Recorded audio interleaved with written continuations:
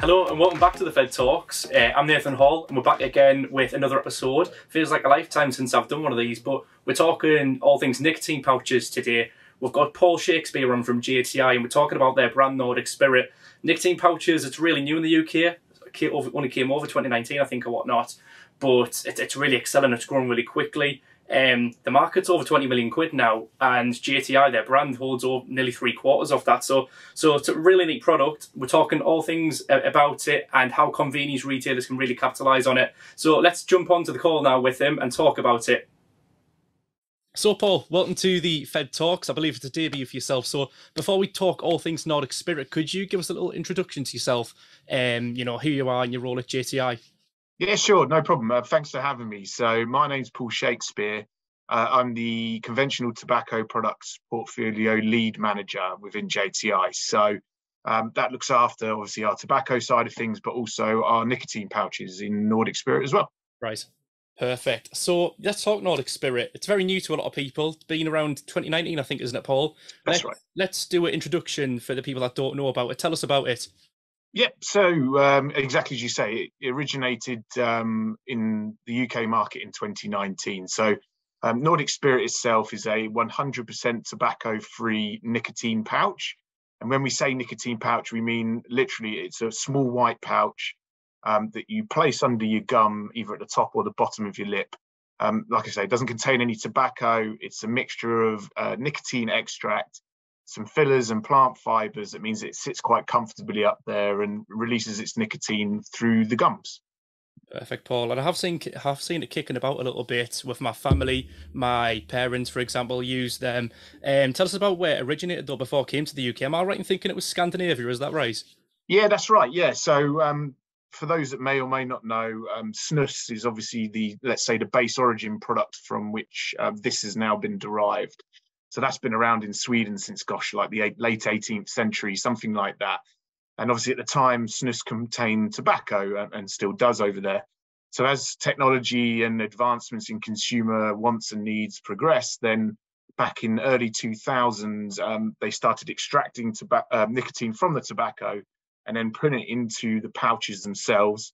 And therefore, you've then got a whole new category of a completely tobacco-free pouch, but still used in the same way for people in Scandinavia. So they're very much used to putting pouches up in their lip and, you know using nicotine products in that way. Got you. And since then, early 2000s, moved to the UK since 2019. How is it performing in the UK? Ah, it's been great. So, I mean, for us as a move into a new category, you know, there was a lot of risk there.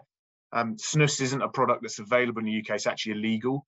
Right. So that usage of a pouch in the mouth scenario, we were very much, uh, you know, of a feel of okay, we've got some consumer research that says this could work, but until we put it out there, we didn't really know. So, like you say, uh, late 2019 we launched, and then through 2020 until current day, we've really been building our distribution uh, and making sure that as a an alternative smoking uh, option for situations where you know you can't smoke, you can't vape then this product offers consumers um, of nicotine products something else. So if you think about it as well, considering what we've had to deal with in the last couple of years with coronavirus, lockdowns, I mean, truly, this product is designed to be used anywhere, anytime. So, you know, in the car, on the train for your journey to work, perhaps in an office meeting, going on a plane, on holiday, etc. As I say, all those um, usage occasions where smoking and vaping doesn't work, yeah. So considering that the growth that it's had um, is absolutely phenomenal, given it's not in the ideal conditions for it. Yeah, it's a, um, it's a neat little factor. The fact that it's got no smoke, so you can do it anywhere. It's uh, it's very nice. And then what our retailers want to hear, what they want to talk about, was how do they sell it? How do they sell more of it? So, have you got any advice for retailers at JTI doing anything to support them?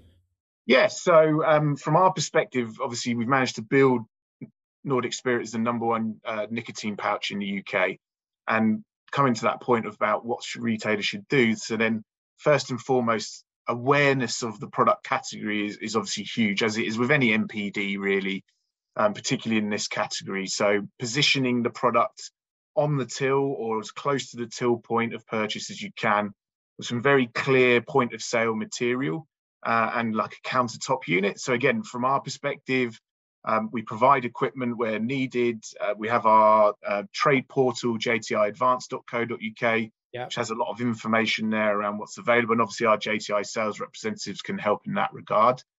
Um, moving to kind of what else they should do. Obviously, the education about this is absolutely key. You know, not a lot of retailers are going to be aware of it, how it's used, what the consumer's going to ask of them. So, the couple of key things to remember are firstly, like we've said, it's 100% tobacco free. So, therefore, it can be used anywhere, anytime. When somebody's looking to enter the category, they really need a basic understanding of how to use it. Like I say, take it out of the can, put it up into your lip, await that sort of tingling sensation that comes, and then use it for up to an hour with Nordic Spirit. And then, secondly, around um, the strength and the flavor options as well. So, from our perspective, we have uh, mint as the most dominant flavor in the whole category.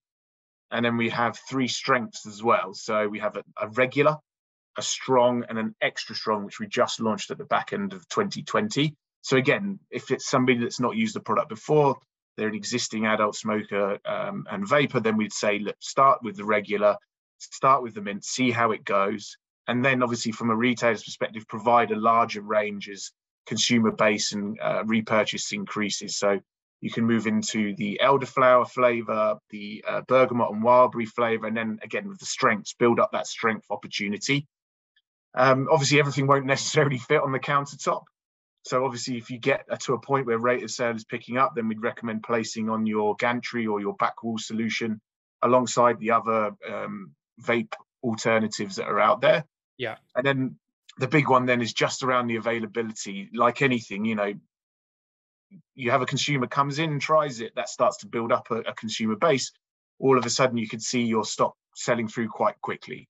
So that replenishment, repurchase from wholesale or, or your distributive wholesaler, wherever they uh, receive their stock from, is key to make sure that you retain that consumer when they then come in as a new or, or an existing to, to repurchase again. Fantastic, Paul. It is, really is a neat little proposition for independent retailers. Our members should be stocking it. It's fantastic. Thanks again for, for coming on here, sharing us, uh, sharing this information and insight into the brands, Paul. Cheers. Well, what a neat little proposition that was. Thanks so much, Paul, for coming on and sharing all of that knowledge and data with our membership. We really appreciate it. Now, the recommended retail price of these pouches are £6.50. For, in, in there, you get 20 little of, the pouches. Um, so, again, fantastic value for money. Really, really good product. Um, if you're not stocking, have a think about it. Have a look into it. It's brilliant.